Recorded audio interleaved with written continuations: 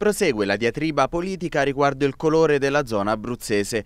Motivo del contendere il tanto agognato ritorno in zona gialla e in ballo ci sono le feste di Natale. Il DPCM impone che la zona arancione deve avere una durata minima di 14 giorni, che stando all'entrata ufficiale di domenica 13 nel livello intermedio scadrebbero domenica 27 dicembre.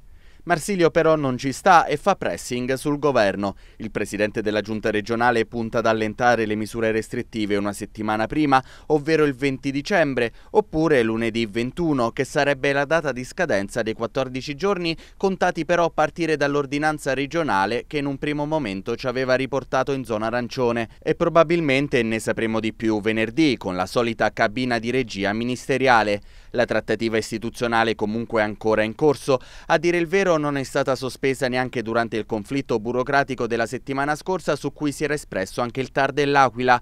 Secondo alcune fonti, nei prossimi giorni potrebbe essere raggiunto l'accordo che ci riporterebbe in zona gialla dal 23. Insomma, giusto in tempo per consentire gli spostamenti tra regioni, così da raggiungere i propri cari per Natale.